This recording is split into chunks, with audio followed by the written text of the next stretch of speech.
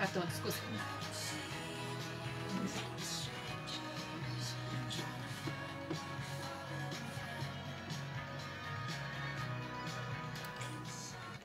Este ora 9 și 40 de minute, ascultați matinalul de la Radio Cluj, primul turneu WTA din istoria orașului Cluj și singurul la ora actuală din România va avea loc la Winner Sports Club la începutul lunii august în aer liber pe zgură. Este invitatul meu de astăzi Patrick Ciorcilă, cel care este directorul turneului și la rândul său fost jucător de tenis. Bună dimineața, mulțumesc că ați venit! Bună dimineața și vă mulțumesc mult de invitație!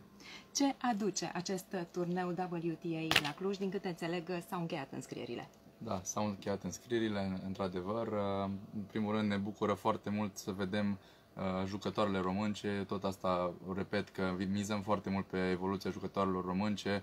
Avem uh, numai puțin de 10, 10 tenismene în top 200 mondial, ceea ce suntem printre cele mai bune țări din lume uh, în topul WTA. Avem 11 jucătoare din top 100, ceea ce ne onorează și ne bucură foarte mult. Uh, avem foste număr 5 în lume, de exemplu Sara Erani sau fostă număr 9 în lume Andreea Petkovic. Uh, avem pe Alize Cornet, care este locul 56 WTA și este principala favorită. Uh, deci da, avem toate premizele ca să avem o săptămână plină de tenis de calitate. Când se va desfășura efectiv turneul?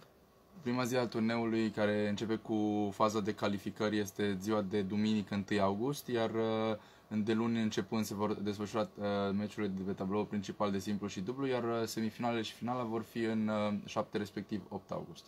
Care sunt numele jucătoarelor românce care sunt deja înscrise?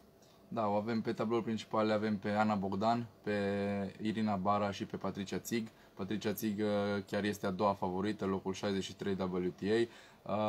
Pe lângă aceste trei jucătoare vom mai avea în calificări, momentan sunt Gabriela Ruse, Jacqueline Cristian, Mihaela Buzărnescu, care sperăm noi, dacă să zicem se vor mai retrage anumite jucătoare de pe tabloul principal, atunci au șansa și ele să acceadă direct acolo.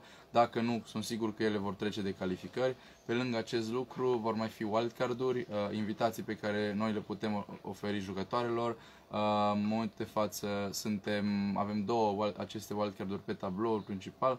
Unul merge la firma de unde am, de unde am încheiat licența și doi merge la, al doilea merge la noi.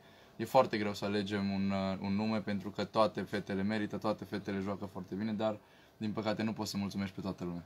Toată lumea cred că vă întreabă ce se întâmplă cu Simona Halep. Da, din păcate ați văzut și dumneavoastră ce anunțul de ieri parca Simonei uh, că va rata și Jocurile Olimpice, cumva uh, era de așteptat uh, din cauza accidentării, o accidentare destul de gravă la o ruptură destul de gravă în tenis. Deci nu cred că acum e, e motiv foarte, adică un moment foarte bun să vorbim despre prezența Simonei sau nu cred că trebuie să se refacă în primul rând și apoi să vadă unde vrea să participe mai departe. Haideți să vorbim un pic despre organizare. Ce presupune organizarea acestor meciuri la Cluj și unde anume vor avea ele loc? Da, toate meciurile se vor desfășura la Winner Sports Club în aer liber. Este uh, un loc perfect pentru un astfel de turneu, însă a trebuit să facem și foarte multe modificări pentru că sunt extrem de multe cerințe din partea WTA-ului. Uh, la tot ce înseamnă zona jucătorilor, uh, accese separate, să nu se intersecteze cu spectatorii, cu um, stafful și așa mai departe. Vom instala uh, o tribună de 1300 de locuri pe terenul central, uh, o tribună de 300 de locuri pe terenurile secundare, iar uh, toate aceste tribune și toată această logistică pe care o avem, în principal este mobilă, adică o vom închiria, o vom instala, nu există în acest moment. De la... Dar o puteți folosi și cu alte ocazii. Uh, exact, da, o putem folosi și cu alte ocazii, de la, începând de la tribune, corturi, containere în care vom uh, organiza diferite zone, de la birouri, de la um, zone de masaj, de încălzire pentru jucători, zone de servit masa, toate aceste lucruri sunt într-o carte foarte strictă a WTA-ului pe care noi ar trebui să o urmăm. Ce a presupus să obțineți această licență pentru organizarea la Cluj a turneului? Da, au fost multe discuții și telefoane și mail-uri. Am început încă de, din octombrie anul trecut um, să, să explorăm această idee. Am fost destul de sceptici la început um, pentru că știam, Clujul n-am mai avut niciodată un turneu WTA, singurul oraș a fost Bucureștiul până acum 3 ani, deci cumva a fost uh, destul de greu să convingem pe cei de acolo că duce Clujul un astfel de turneu, că avem infrastructura necesară și așa mai departe, dar a ajutat și foarte mult faptul că are Clujul o istorie în sport și în tenis, de la meciurile de Fed Cup, de Cupa Davis, anumiți uh, oameni din WTA care vor fi și aici la turneu au fost la turn- aceste evenimente în trecut la Cluj, s-au simțit bine și atunci e, a fost important. A fost un atu. A fost un atu, clar, în plus. Ați organizat și anul trecut da. un turneu, Winners Open. Ce a da. presupus asta? După lunile de izolare, după toată neliniștea care era în acea perioadă, cât de greu a fost? Da, uh, anul trecut am ținut foarte mult pentru că era un moment mort din punct de vedere al evenimentelor și culturale și sportive și așa mai departe și am vrut să încercăm să ieșim un pic în față, să, să împingem lucrurile, să arătăm că se pot face evenimente și chiar și în condiții de, să zicem, urgență sau așa mai departe. Uh, am reușit să facem un turneu de succes cu toate măsurile care atunci știți că au fost mult mai stricte decât acum.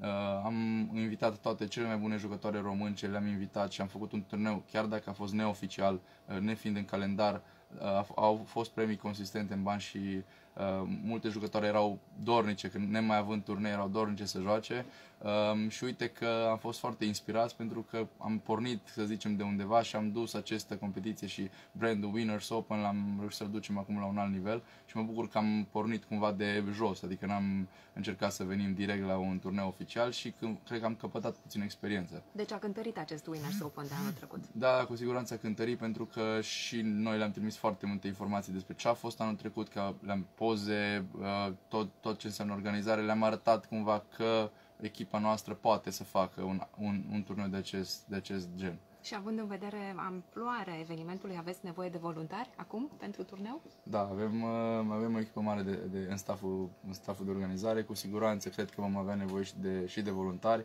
Um, acum sunt, sunt ceva restricții vis-a-vis -vis de numărul persoanelor care au voie să fie uh, în locație, adică ni se impun niște numere maxime, chiar dacă uh, guvernul României la, uh, permite uh, și are reguli mai relaxate, WTA vine cu regulile lor, vin cu regulile lor proprii și atunci cumva trebuie să le urmăm și pe acelea, dar o să îi rugăm pe toți care vor să fie voluntari să ne urmărească pe paginile de Facebook Winners Open și vom anunța din timp. Haideți să vorbim un pic despre accesul la evenimente, cum se va face, care sunt condițiile și dacă au pus, ați pus deja în vânzare biletele.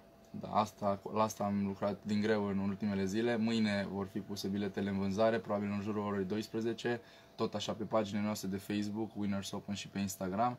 Um, am, a fost puțin de muncă pentru că fiind 8 zile de turneu, trebuie să faci 8 uh, structuri de bilete, 8 uh, prețuri diferite și așa mai departe, dar am încercat să le facem cât mai accesibile pentru toată lumea. Primele zile, bineînțeles, sunt foarte accesibile din punct de vedere al prețului, pentru că e normal, cel mai mare interes va fi în, uh, în ultimele 3 zile, când e weekend, când oamenii, tot, toată lumea vrea să vină la semifinală, finală, dar e poate chiar mai atractiv să vin primele zile când e, chiar, e și mult mai ieftin, dar și vezi și mult mai multe meciuri, pentru că cine plătește un bilet, să zicem, în ziua de luni sau marți, vine la ora 11 și poate să vadă 10-12 meciuri într-o zi.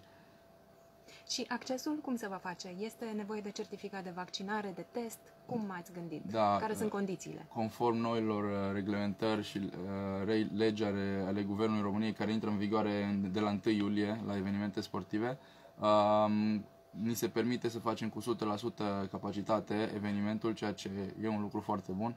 Momentan nu se spune că ar fi vreo alternativă la vaccin, deci uh, cred că noi vom merge inițial cu acest lucru, adică toată lumea care intră trebuie să fie vaccinată.